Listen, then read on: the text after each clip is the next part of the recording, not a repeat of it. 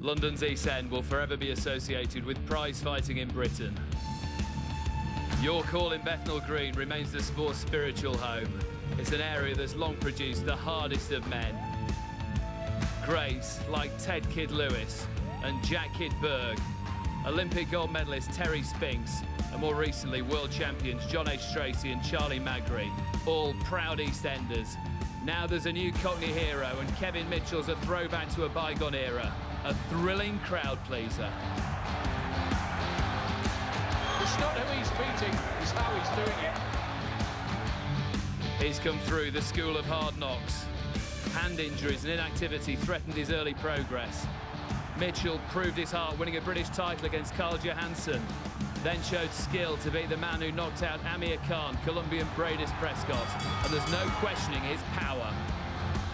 Knockout! Kevin Mitchell strikes again!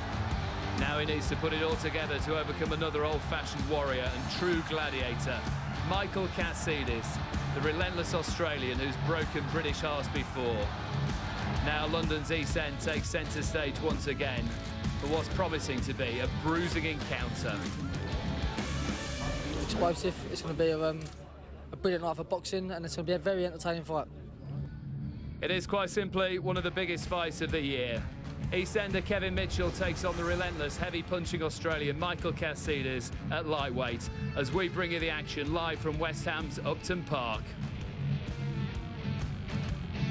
Well, West Ham, a club with great footballing history.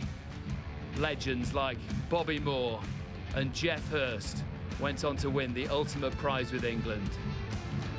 Trevor Brooking was a legend here in the 80s. And Paolo Di Canio thrilled the fans at Upton Park in more recent times. Di Canio, oh, I do not believe that. That is sensational.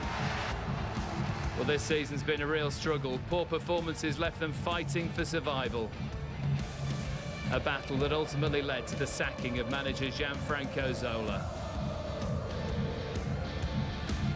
Well, Kevin Mitchell hoping to put a smile back on the face of Hammers fans as this fabulous, fabulous stadium is transformed from a Premier League football ground to the state-of-the-art boxing arena. Well, a crowd of up to 20,000 expected. I'm pleased to say, the weather has stayed fine and dry.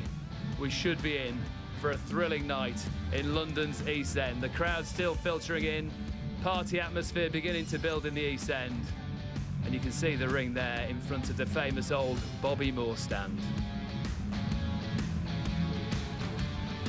Hi there, welcome along. Just like his football team, it's been a roller coaster last year in the life of Kevin Mitchell. 12 months ago, he was working on the railway lines to earn a crust, a hand injury threatening his career. Now he's headlining